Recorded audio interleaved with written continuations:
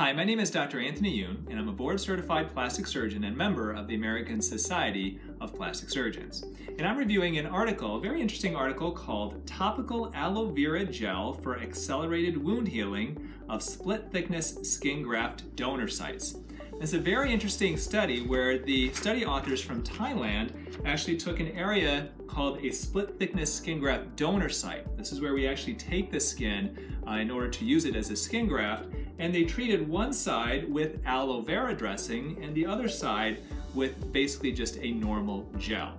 And they found that the side treated with the aloe vera dressing actually healed faster than the side not treated with it. Now this is a very interesting study because I've done a lot of skin grafts before and we treat these areas that we take the skin from in many different ways.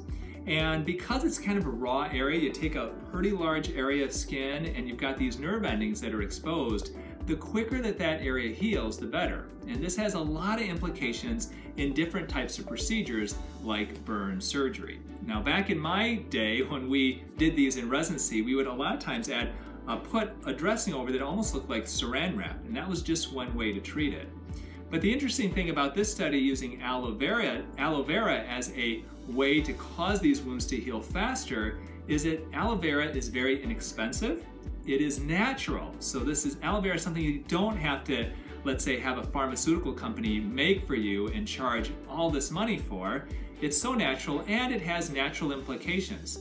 People have been using aloe vera to treat wounds for hundreds and hundreds of years now we actually have proof in this study that it works better than a placebo to cause a wound to heal faster. So could this study mean that our parents, our grandparents, and our ancestors maybe know more than we think that they do?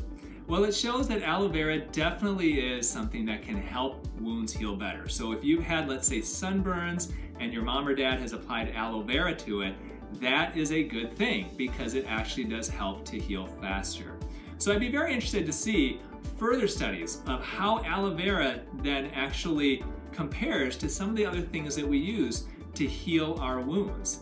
And what the early studies have shown when you compare aloe vera to things like Silvadene is that it uh, actually seems to match up very, very well. So sometimes you don't have to go into a laboratory and into a factory to create something that nature has actually done for us.